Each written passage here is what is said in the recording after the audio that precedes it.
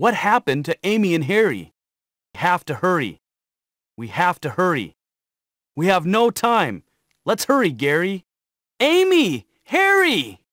Run! Is this the Colosseum? Gary, after him! I'm not gonna let you get away. Too late. Power still coming. Amy, Harry, are you all right? No! Thanks, Harry. Goldman, I'm not gonna let you get away with this.